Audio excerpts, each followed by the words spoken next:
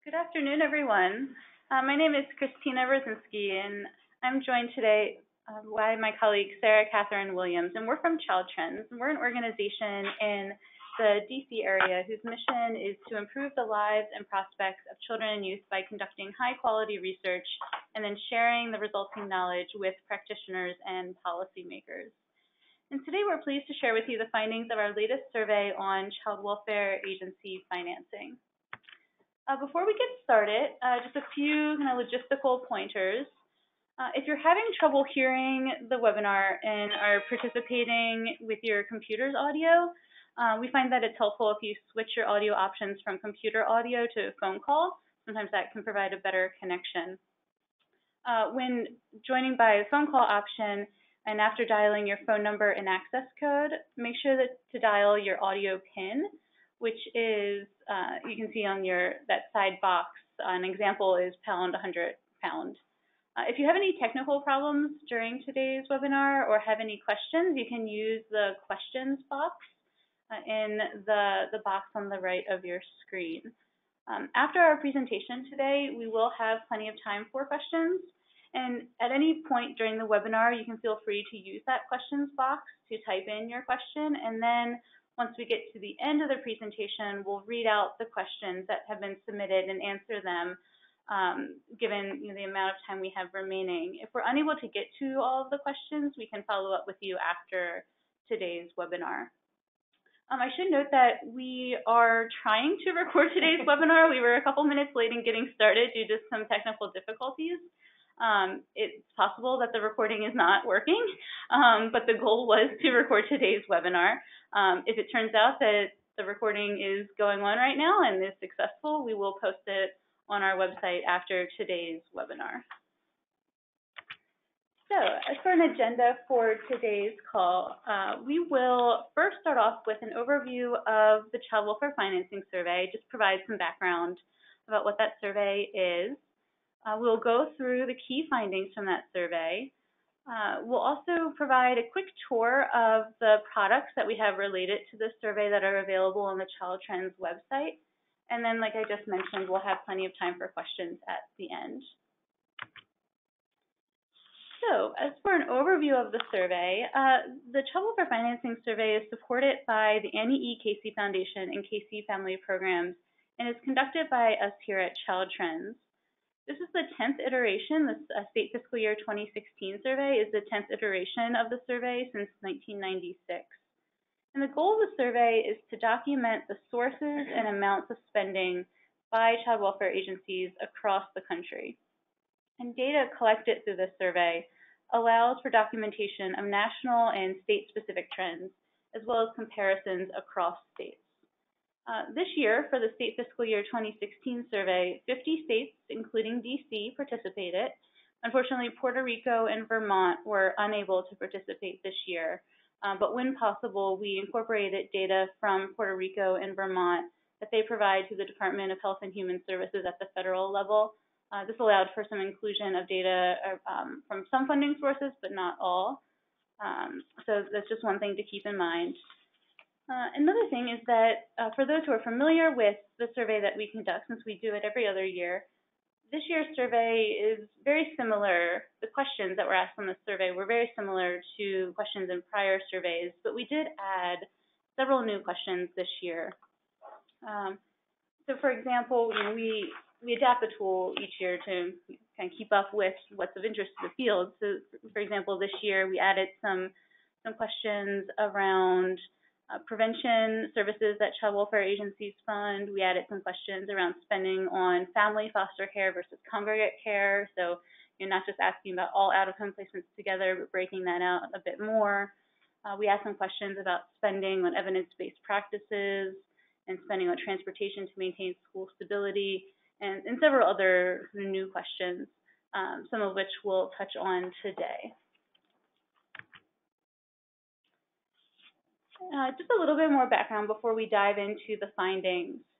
Uh, the survey collects data on states' expenditures on child welfare activities for state fiscal year 2016. And by expenditures, we mean all state fiscal year expenditures for the programs, case management, administration, and operation of a state's child welfare services system. Um, and this is an important distinction from appropriated funds. So we're really focused on the actual expenditures, not any amounts that were appropriated and may not have been spent, for example. And by child welfare, we're referring to all of the uh, services and activities you can see here on the screen that are administered by the Child Welfare Agency for children, young adults, and families. And so this includes services for intact families to prevent child abuse and neglect, foster care placement or reentry, child protective services, out-of-home placements, adoption and guardianship services, and services and assistance for older youth as well. So in a nutshell, the survey captures child welfare agency expenditures on child welfare services.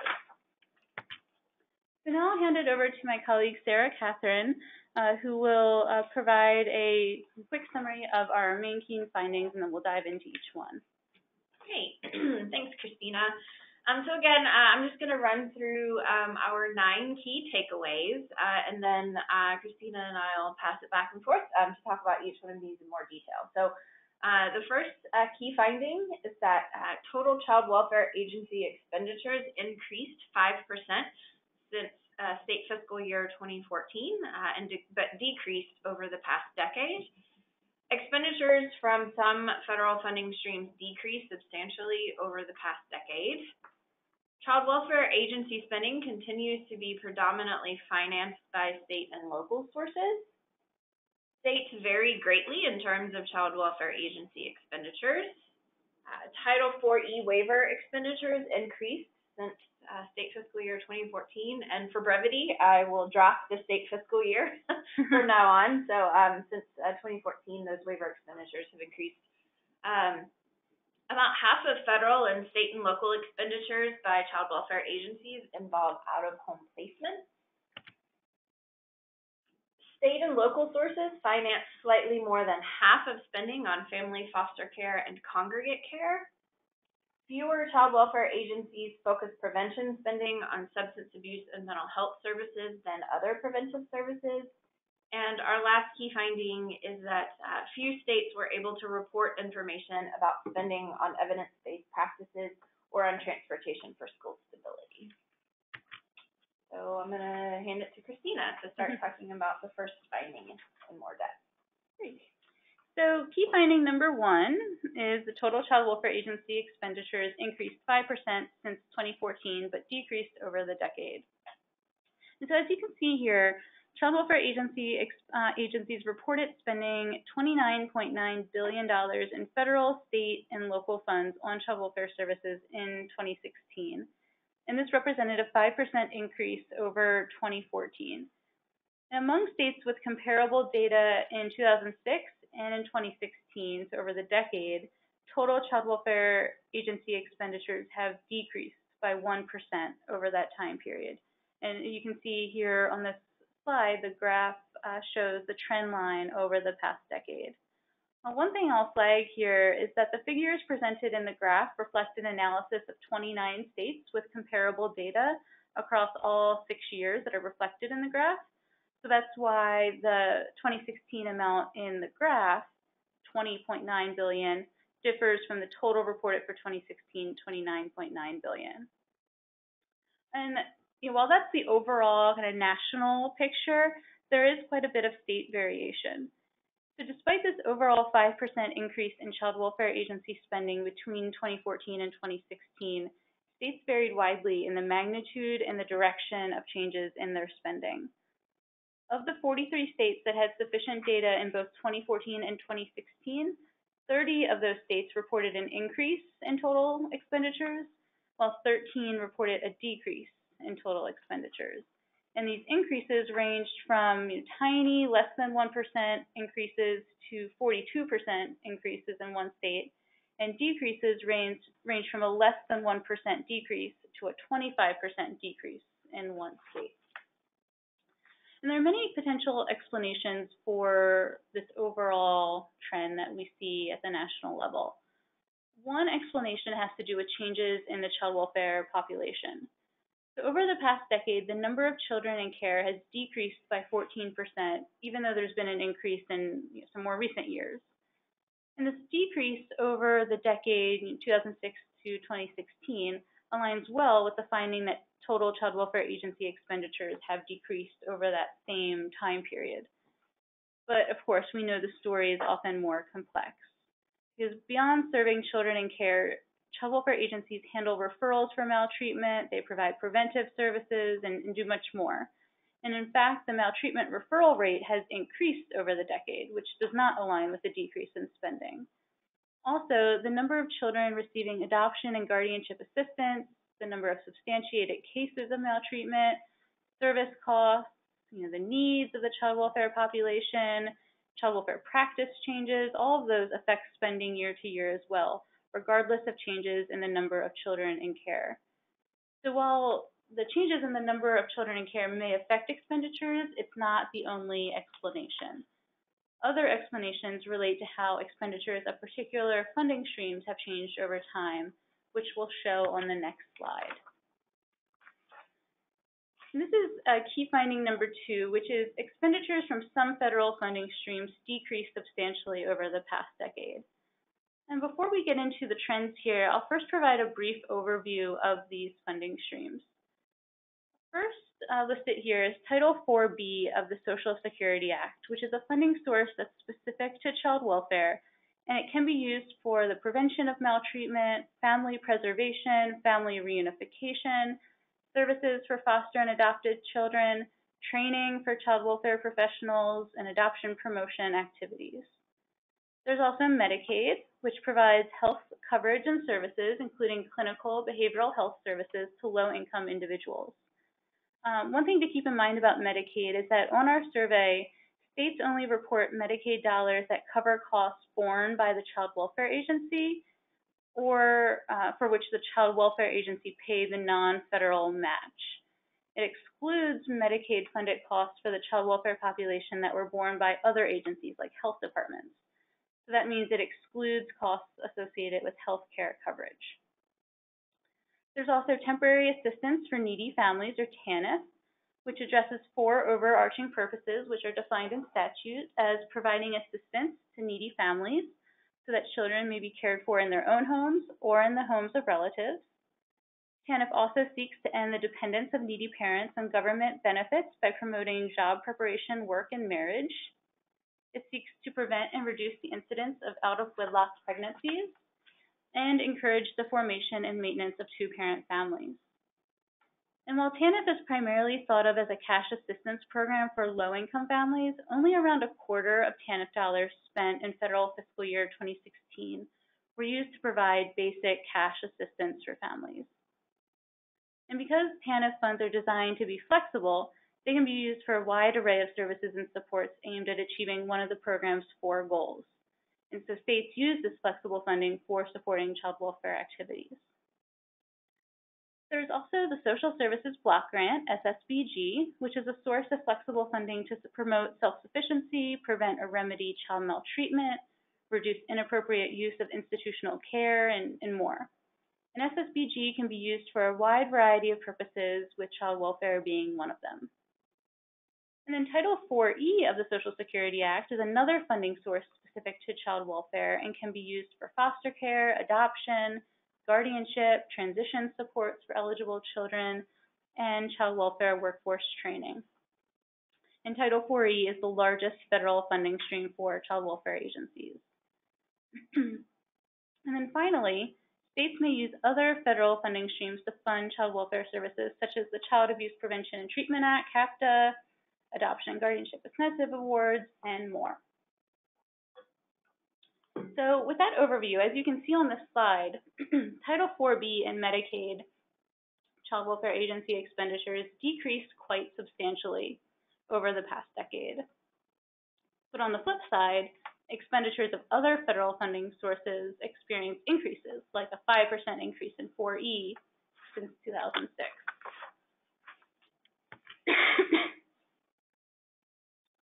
So, what's behind these trends? One explanation behind these federal expenditure trends is sequestration. the Budget Control Act of 2011 stipulated automatic spending cuts starting in federal fiscal year 2013 if Congress was unable to reduce spending on its own. And so most child welfare funding sources were not affected by sequestration, but two sources, uh, 4B and SSBG, were affected. And the effects of sequestration are likely reflected in, but do not account for all of the 29% reduction in 4B spending over the past decade. However, you know, in shifting to SSBG, we saw that SSBG spending by child welfare agencies increased by 8% since 2006. And so at first glance, this may seem counterintuitive given sequestration, but SSBG is not solely dedicated to child welfare. In fact, the total state SSBG spending on services most relevant to child welfare agencies has increased in recent years, while spending on services less relevant to child welfare agencies, like services and supports for vulnerable and elderly adults, has decreased. So in other words, while the total SSBG allocation provided to states has shrunk due to sequestration, it appears that child welfare agencies are accessing a greater proportion of these allocations than in the past.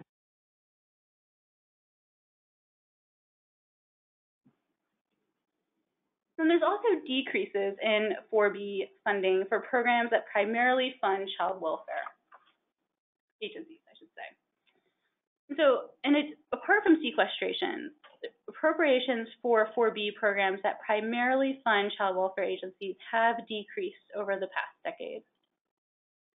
4B is made up of two subparts, and subpart 2 is called the Promoting Safe and Stable Families Program, or PSSF. And that program primarily funds family support, family preservation, reunification, and adoption promotion and support activities. And out of that total appropriation for the PSSF program, funds must be set aside for certain things. Uh, one being the court improvement program. Uh, another example is regional partnership grants that seek to improve outcomes for children affected by parental substance abuse. Um, there's also a set aside for improvements to caseworker visits and research, evaluation, training, and technical assistance. So after those set-asides are funded, then the remaining PSSF dollars under 4B are available to child welfare agencies for services. And so in federal fiscal years 2006 to 2010, part of the total cost of the court improvement program was funded outside of Title 4B. But then starting in 2011, the full cost began to be covered under the PSSF program.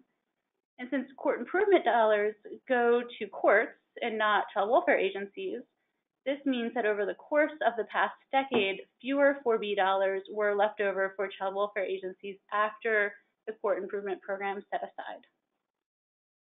And likewise, the regional partnership grants started in fiscal year 2007. And since many RPG grantees are not child welfare agencies, the addition of the RPG set aside also reduced the amount of PSSF dollars available to child welfare agencies. And then the appropriation for the one PSSF set aside uh, that is directed to child welfare agencies, funds to improve caseworker visits, that one actually declined over the decade. That helps explain why Title 4B um, uh, uh, expenditures have gone down. There are also changes in how state child welfare agencies use Medicaid. The observed decrease in child welfare agency Medicaid expenditures over the decade may be due to changes in how state child welfare agencies use Medicaid, rather than a decrease in Medicaid services for this population. In fact, between 2006 and 2016, fewer states reported that the child welfare agency accessed Medicaid dollars. So for instance, child welfare agencies in some states reported that they have shifted costs from Medicaid-funded services to another agency, bundled or unbundled services, and transition between fee-for-service and managed care systems.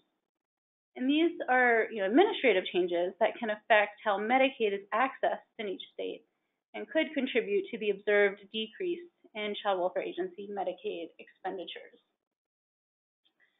But without surveying how all entities in a state access Medicaid dollars for the child welfare population, it is unclear whether the use of Medicaid for this population is simply shifting between agencies or whether Medicaid funding, Medicaid funded services are more or less available to the child welfare population.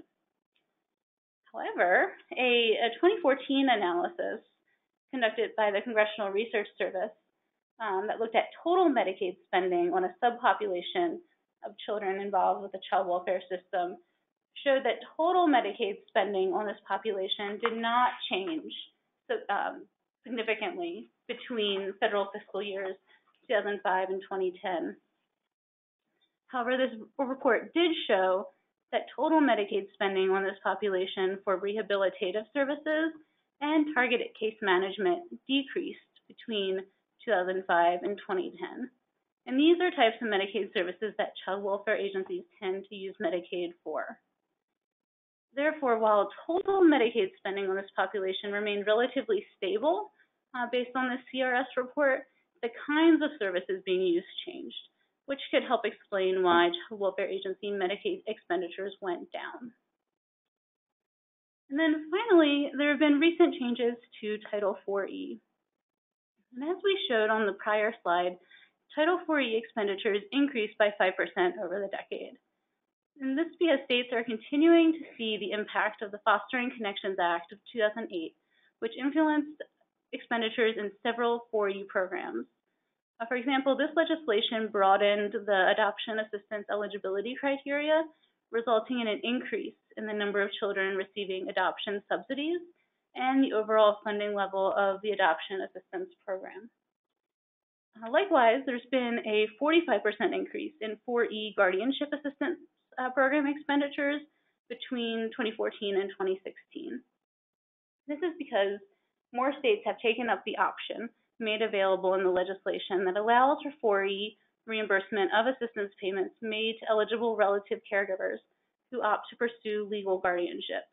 In addition, most states that already had a 4E guardianship assistance program saw that program expand in 2016. In addition, the Fostering Connections Act allowed states to claim additional training costs starting in 2009 and allowed for 4E to be used for the costs for youth ages 18 to 21 who remain in foster care, uh, contingent on other requirements. And then beyond fostering connections, the increase in total 4E expenditures was also driven by an 82% increase in Title 4E waiver expenditures between 2014 and 2016, which we'll talk about a little bit later. All right. Um, so I'm going to move on to our third key finding, which is that child welfare agency spending continues to be predominantly financed by state and local sources. Uh, in addition to federal sources, states spend their own uh, dollars on child welfare services and activities. Uh, state and local funds are used to match federal funds or to meet required maintenance of effort for a federal program and to pay for additional costs that the federal funds do not cover. For most states, these funds come primarily from state dollars, though some states report using more local dollars than state dollars. In 2016, uh, 56% of all dollars spent by child welfare agencies came from state and local as opposed to federal sources. And as you can see here on this graph, uh, during the past decade, these proportions have, uh, you know, have held steady. Uh, key finding number four, and this isn't surprising, is that uh, states vary greatly in terms of child welfare agency expenditures. Uh, the graph here gives you some examples of how states vary in the proportion of funds that come from federal versus state and local sources. And these are, you know, these are just some example states, you know, that we pulled to show variation. Um, and the breakdown for all states is available in our main report. Um, and, you know, as you can see here, Louisiana had the largest proportion of funds from federal sources at 78%, and then Delaware had the smallest proportion um, at 17%. Um, the, and you know now we're going to break that previous the previous slide down a little bit further. Uh, this slide slide shows the breakdown of all sources uh, for a select few states. Um, so states not only vary in terms of how they use their federal versus state and local dollars, but they also vary regarding their use of, um, of federal sources. So we've identified four different types of uh, funding profiles, and you know we've shown you one example of each here on this slide. Uh, the first one is balanced funding structure. In which the Child Welfare Agency uses a mix of federal and state and local funds and draws on a, on a diversified selection of federal funding sources, uh, both those that are dedicated to funding child welfare services as well as others. Uh, the next one is a federal dedicated funding structure in which the Child Welfare Agency uses more federal than state and local funds and draws primarily from um, dedicated federal funding streams. When I say dedicated, I mean sources that are dedicated specifically to funding child welfare services like Title IV-E and Title IV-B. Uh, the third one is our federal non-dedicated funding structures, in which, again, the agency uses more federal than state and local funds, but relies heavily on non-dedicated uh, funding streams. And by non-dedicated, uh, we mean sources that can also be used by a variety of agencies to fund other types of services. So these would be like you know, Medicaid, TANF, or SSBG. And the last one is a state and local funding structure in which the Child Welfare Agency relies primarily on state and local funds uh, instead of federal sources. So I'm sure a big question that a lot of you have is, well, why do they vary so much?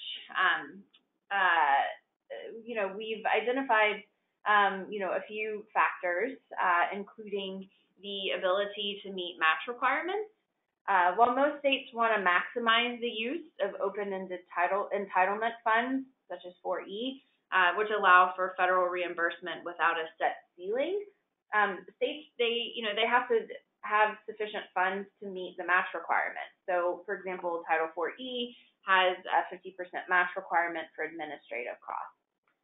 Therefore, the availability of state and local dollars limits the use of some federal funding sources.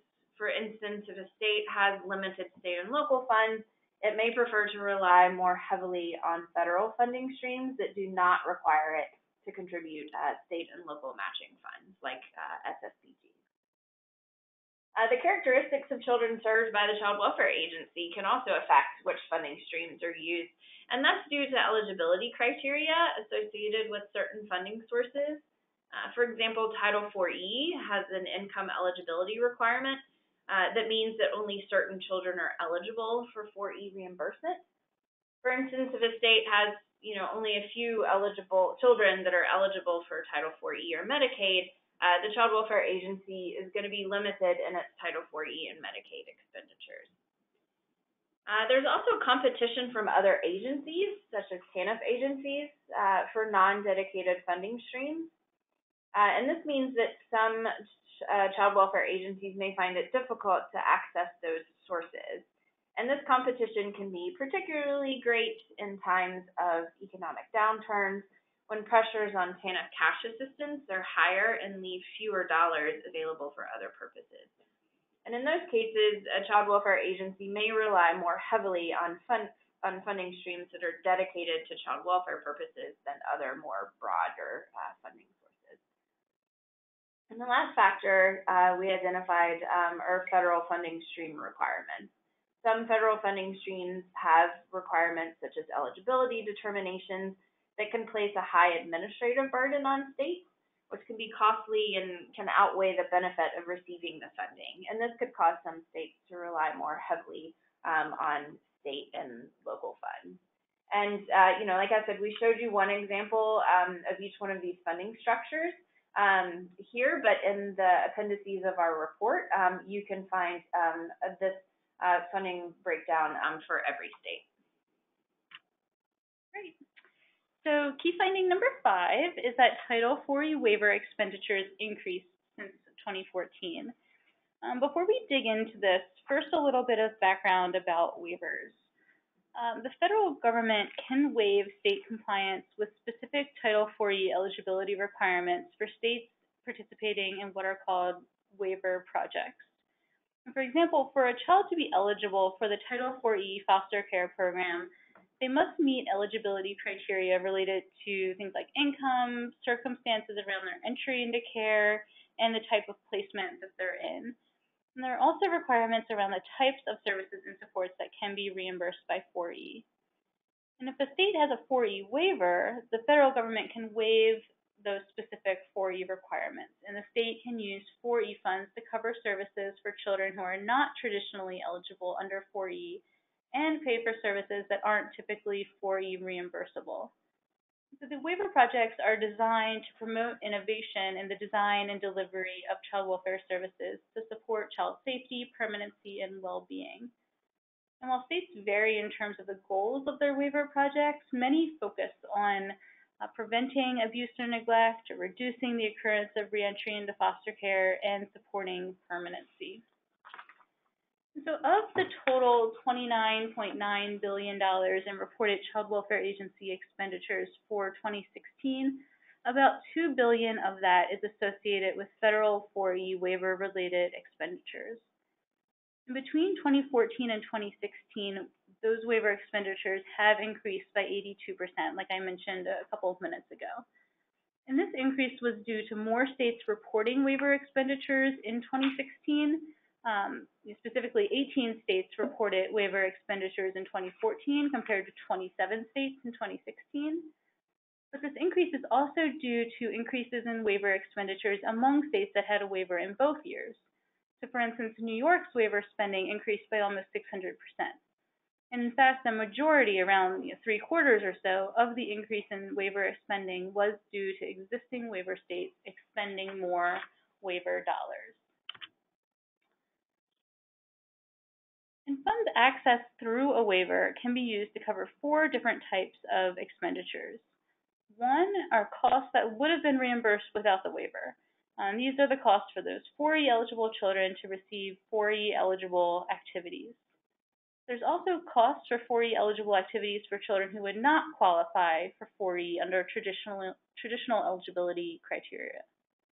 And then third, there's costs for activities that fall completely outside of traditional 4E eligible categories for any child, regardless of their eligibility. And then finally, there are project development and evaluation costs that are mandated by participation in the waiver. And states reported that in 2016, 10% of waiver funds were used for services and activities not previously reimbursable under 4E. And states reported paying for activities like in-home services or, or prevention services and evidence-based practices. And the remaining 89% of the waiver funds were spent on activities like maintenance payments and caseworker activities on behalf of children in care that would have been permitted without the waiver. However, states spent 16% of total waiver expenditures on activities for children who, without the waiver, would not have been eligible for 4E due to income, placement type, or, or their circumstances um, related to their entry into care. So with the waivers currently set to expire later this year, states will have to find other funds to cover those services and activities. And if 2016 expenditures are indicative of waiver spending in more recent years, then the end of the waivers would result in a loss of more than $300 million in Title IV-E funds, which is calculated as 26% of the total waiver expenditures reported by these 24 states that could break out their waiver spending. Um, a few things to keep in mind is that states with waivers must still provide traditionally eligible services like foster care, so they're limited in how much of their waiver dollars can go to new innovative services. And also, while not asked on the Child Welfare Financing Survey, states could be using non-4E funds to help finance their waiver interventions. And also, the federal 4E waiver picture does not capture the possible benefits to the state child welfare financing system overall. Uh, for example, even in states that are using a waiver to fund only 4E eligible activities for non 4E eligible children, other dollars that would have gone to cover those costs are presumably freed up and might be used in other innovative ways. Uh, it's also important to note that among the 27 states that reported waiver expenditures in 2016, California, Maine, and Nebraska were not able to detail how they spent their waiver dollars. Um, since California is such a large state, the omission of its data may skew results, and so we recommend exercising caution when interpreting these results. Uh, we were also curious about whether how states spent their waiver dollars changed between 2014 and 2016. And so among the states that reported waiver expenditures in those two years, the percentage of waiver expenditures that would have been reimbursed without the waiver increased a little bit, and the percentage of waiver expenditures spent on costs for 4E eligible activities for non-4E eligible children decreased slightly. In this, this analysis that's shown on the slide here groups all waiver states together, but it's possible that the use of waiver dollars varies by when the state first started its waiver. And in fact, when we separated out the waiver states into three groups, those that had a waiver the longest spent a smaller proportion of waiver expenditures on costs that would have been reimbursed without the waiver in that first category here. And the states that had a waiver the longest spent a greater proportion on costs for non-4E eligible services and activities in the third category. Uh, and this difference may be a result of waiver states using their waiver interventions to reduce the number of children in care, which over time could reduce spending on traditionally eligible 4E activities and increase spending on non-eligible activities. Right.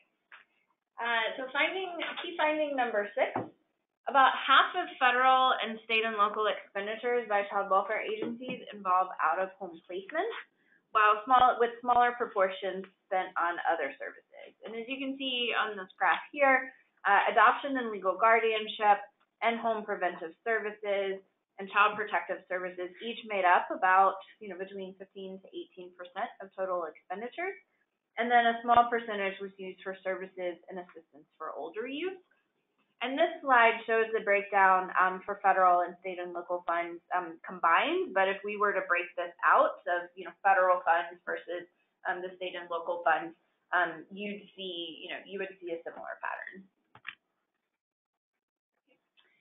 So states also reported the amount of federal and state and local funds that their child welfare agency expended on relative or non-relative family foster care and congregate care. So by family foster care, we mean family-based placements like traditional or therapeutic foster family homes or relative foster care placements, for example. Um, then by congregate care settings, we mean group homes, residential treatment centers, shelters, etc and state and local sources finance slightly more than half of spending on both family foster care and congregate care. So as you can see here, 57% of spending on family foster care came from state and local sources, while 64% of spending on congregate care came from state and local sources. Then when we're examining only federal spending on family foster care and congregate care, we see that 40% of federal spending on these placement settings was spent on congregate care. And then when examining only state and local spending on these placement settings, 48% of state and local spending on these placement settings is spent on congregate care. And so this information about spending on out-of-home placement settings shows us that congregate care is disproportionately expensive.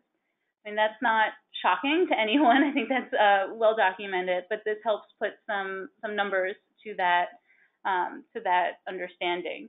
As you can see here in this orange box here, uh, congregate care accounts for a little less than half of spending on out-of-home placements, but only 12% of the children in care were in congregate care settings in fiscal year 2016, which helps us understand just how disproportionate the cost is. Right. So key finding number eight is that fewer child welfare agencies focus prevention spending on substance use and mental health services than other preventive services. This year we began asking states about their spending on different categories of prevention services. So this is one of the new questions that Kristina, you know, mentioned at the beginning. Um, you know, states ranked the top three categories of preventive services for which their child welfare agencies spent federal and state and local funds. And the figure here shows the number of states that ranked each preventive service in their top three. So the top services in 2016 were parent skill-based programs, uh, caseworker visits and administration, which included uh, information and referral services, and, uh, and financial support, such as assistance with transportation, housing, childcare, and more. And there are a relatively small number of states in which the Child Welfare Agency focuses its prevention spending on substance abuse and mental health services. And this finding is important uh, given the need for these services among families involved in the child welfare system, as well as the ongoing opioid crisis that's straining many child welfare systems across the country. Um, it's also important to note that while child welfare agencies may not be focusing their prevention spending on these programs, it's possible that the child welfare agencies in those states partner with other agencies such as health departments um, to fund such services. So this is not meant to mean that those services are not being provided. Uh, they are just not being funded by um, child welfare agencies. Right, and our last key finding is uh, related to spending on evidence-based practices and transportation for school stability. Uh, on this year's survey, we asked questions about about these topics, and they were they were new questions this year.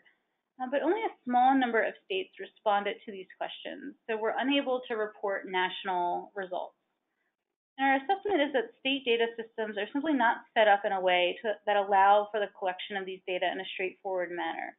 So for instance, costs for transportation to maintain school stability may be bundled with other costs, like a foster care maintenance payment if foster parents are the ones providing the transportation. And that makes isolating transportation costs difficult. So while we can't produce national findings related to spending on EBPs and transportation for school stability, the fact that so many states struggle to report this information is significant in itself. And in particular, states' inability to produce data on spending on evidence-based practices will be of increasing importance as states begin implementing the Family First Prevention Services Act, since that law requires states to track spending on EBPs and promising practices in certain circumstances. All right, so those are uh, that's our discussion of the key findings. And before we go on to um, answering questions, um, I'm just gonna give I'm gonna uh, give you a preview of the additional products that we have on our website. So um, while I'm doing that, if you have questions, please uh, enter them into the chat box or the questions box, um, and uh, and we'll uh, answer those um, momentarily. Um, so um, all of these uh, products that I'm going to give you a preview of are available on the Child Trends website. I have the link here, but if you Google Child Trends Child for Financing, um, the report will come up. Um, so first off is the uh, is the full report, which includes an executive summary, a detailed presentation of the findings, um, a discussion, and appendices with state level data. Um, so when someone had uh, asked the question of whether or not we have state level expenditures available, and we do, um, they're available um, both in the report and in another resource that I'm going to highlight in a moment. Um, for those of you who are data nerds like me, um, we also have uh, an easy to use state level data table in Excel uh, that can that you can download and play around with. Um, so both of those are available on our website. And then if you're interested in learning more about a specific funding source, you can take a look at our funding source um, fact sheets or resources. Uh, each one breaks uh, one of the major funding sources down a little further than in the main report. Um, and they're great for those of you who are new to child welfare financing to get a better um, understanding of each of the um, federal, uh, each of the major funding sources. Um, but these resources have more graphics um, and that kind of thing. Um, and then finally, uh, if you want to know more about funding in a particular state, in addition to the information in the appendices, we have some state level resources as well. Um, and, uh, you know, these resources provide all of the available information for each state in one place. Um, whereas uh, the appendices in the data table, um, you know, those are good for making um, comparisons amongst, um, you know, different states. But um, if you're really wanting to focus in on one state, these are great because it has all of the information about that state in one place. Um, so now we are going to stop for questions, and I'll just say we may not be able to answer all of your questions, um, but we'll try and follow up with you if we don't get to your question. Uh, and since there are so many of you on the uh, on the webinar, um, instead of unmuting folks, we're going to read questions um, from the question box, mm -hmm. and then Yep. So. so we've had a couple come in so far, and feel free to type in your questions in the question box. Um, our first question and comment is from Carolee Morano. Uh, Carol Lee uh, made a comment around how there has been a shift. Uh, she's seen a, a shift in her organization where there's been fewer referrals to congregate care placements, and with a priority meet being more focused on um, family-based settings and family preservation, you know, prevention services, that sort of thing. And she asked if the 5% increase in child welfare expenditures is related to that shift in priorities. Um, that's a good question, and of course, you know, the uh, like we shared earlier, that the reasons behind these trends are, are complex, um, and you know, piece of it could be the shifting priority um, more towards family-based settings, more to like upstream services. Um, that would, you know, in my mind, drive expenditures down. Uh, it wouldn't drive expenditures up per se, but again, the story is complex, and if um, you know more families are being served, even though you know, fewer children are going to congregate care placements, that could um, that could contribute to increases in expenditures. Um, and Carol Lee also had later in her comment um, a, a, a, note around how, you know, the slide around showing congregate care and how it's disproportionately expensive. She noted that, you know, it's one thing to say that it's, it's costly, but do we know if there's a benefit in terms of the outcomes that mm-hmm. justifies mm -hmm. the cost? And if are those sorts of things being looked at? Um, I think that's a really good point. Um, that's not something that our survey looks at. We're, we're just focused on um, the expenditures and what the money is being spent on. Um, but that's an important consideration to keep in mind. It's not all about, you know, doing things more cheaply. Um, you have to keep in mind, uh, you know, what's best for that child and, and family too. So that was Carol Lee's comment. Um, I'm going to uh, pass this one to Sarah Catherine. I'll ask this question of you from William Thorne. Um, do you have resources or information on tribes? Um, we do not have information um, or resources on tribes. Um, we uh, the survey uh, is sent to uh, you know, state child welfare agencies. Um, uh, the it's outside of our current scope um, to look at um, tribes uh, and their specific expenditures. Um, but that's something that you know we always have um, you know in the back of our minds um, were uh, you know additional resources to become available.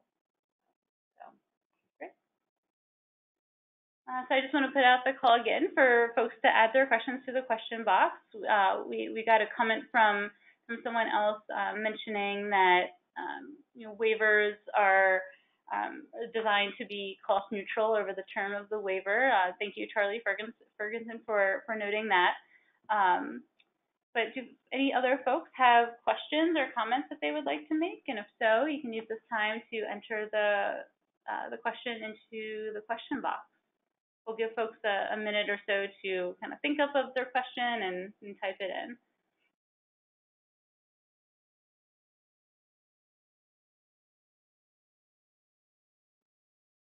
looks like Carol Lee uh, may be in the process of submitting um, a follow-up question, so we'll, we'll give her a moment.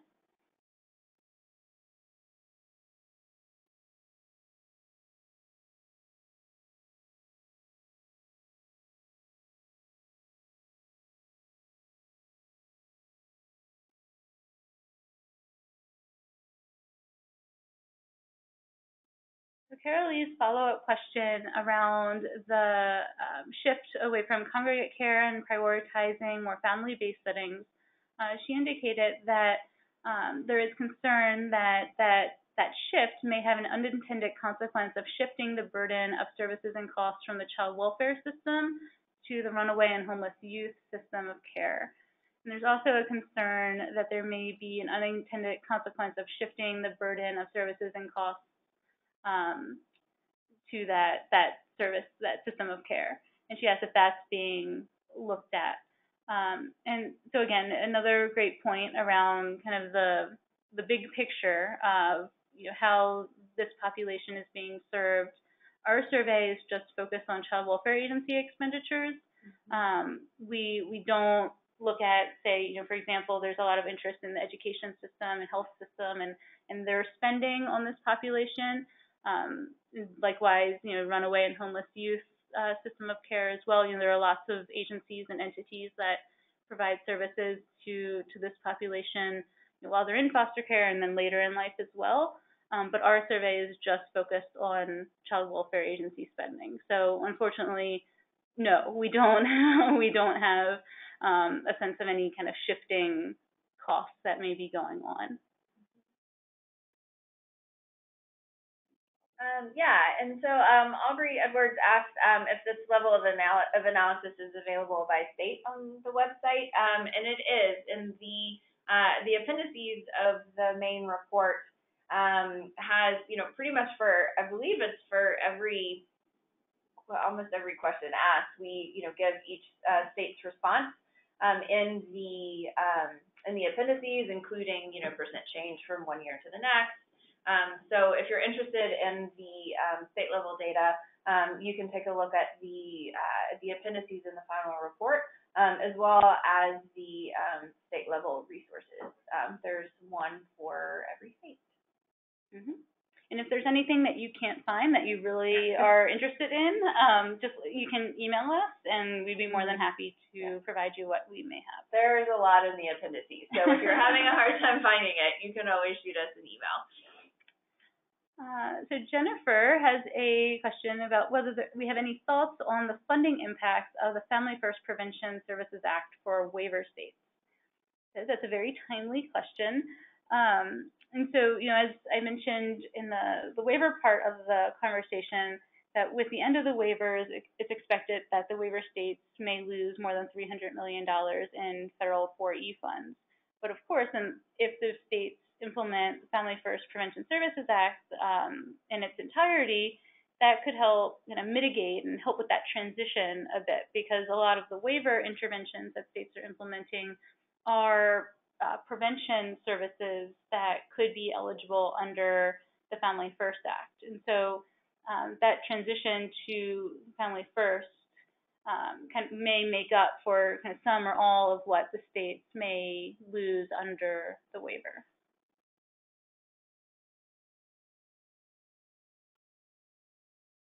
So we've answered all questions submitted so far. Uh, if you have any other questions, feel free to submit them now. We'll pause for a moment to give you a chance to type them in.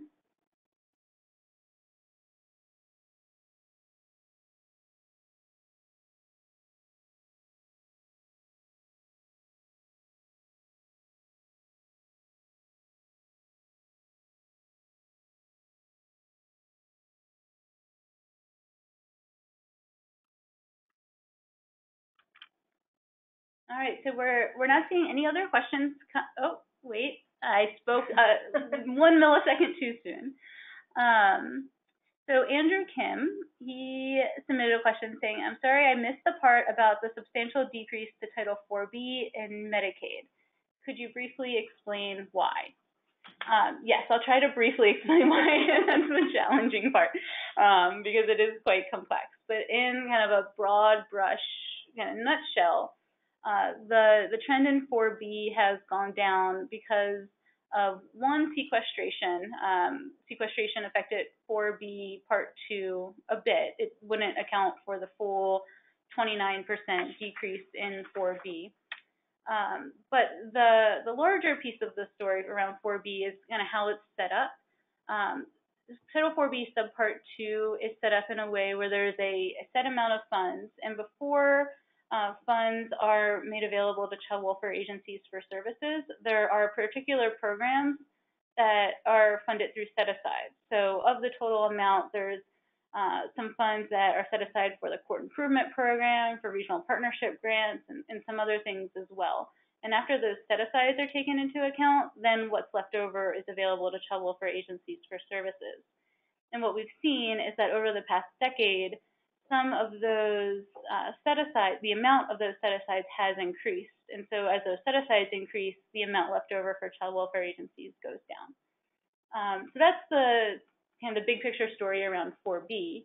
Um, as for Medicaid, which saw a 46% decrease over the past decade, um, and again, specifically, you know, child welfare agency spending of Medicaid, um, the story there is around you know, shifts in how child welfare agencies use Medicaid. So, for example, we've seen that over the decade, fewer child welfare agencies reported that they ac- they use any Medicaid dollars at all. Um, and there's also been shifts in like sort of administrative of administrative nature with Medicaid, where um, child welfare agencies are shifting Medicaid funded services to another agency or transitioning from um, fee for service to managed care systems or bundling or unbundling Medicaid services.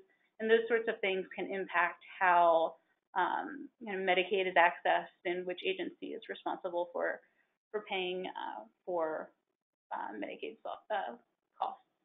So that's sort of the summary of um, 4B and Medicaid and why those have decreased.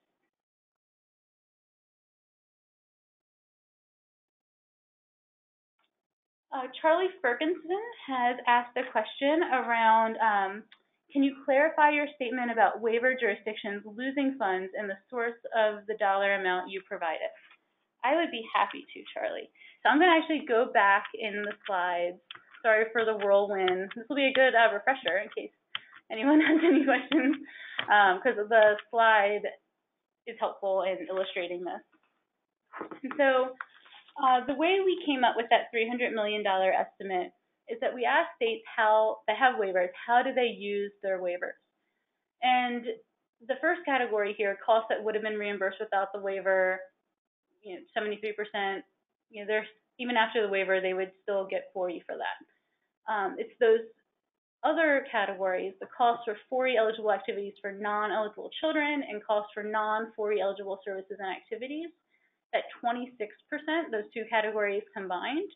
We take that 26% of the total waiver expenditures reported to us by the 24 states that were able to report this breakout. And so that 26% of the total of these 24 states is that 300 million. Um, one caveat that I mentioned before, but it's worth reiterating here, is that California is not included here. Um, also Maine and Nebraska, but California is the is a very large state. Um, and so when we cite that $300 million estimate, that's a sort of lowball estimate because if California were included, that would increase quite a bit. So um, we basically just use that as a way of illustrating, you know, how the end of the waiver may impact states. And our um, our calculation here is that the end of the waiver would result in a loss of more than $300 million in 4E funds.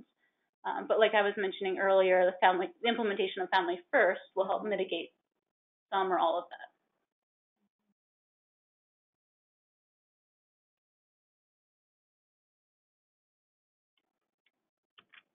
So I'll go back to the final slide.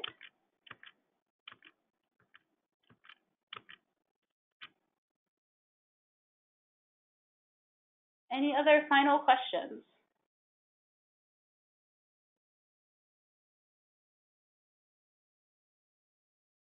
All right, I'm not seeing any others come in. So if you have any questions that come up after we conclude, our email addresses and phone numbers are up on the screen here. Uh, we will be posting these slides on our website uh, after today's webinar. And like I mentioned at the beginning, uh, we try we tried to record. We hope it recorded. Uh, we did have some technical difficulties, so we apologize if the recording doesn't go through. But if it was successful, that will be posted on our website alongside these slides as well. So thank you everyone for joining. I hope this was useful and informative. And again, feel free to reach out to us with any follow-up questions or, or comments that you may have. Have a great afternoon, everyone.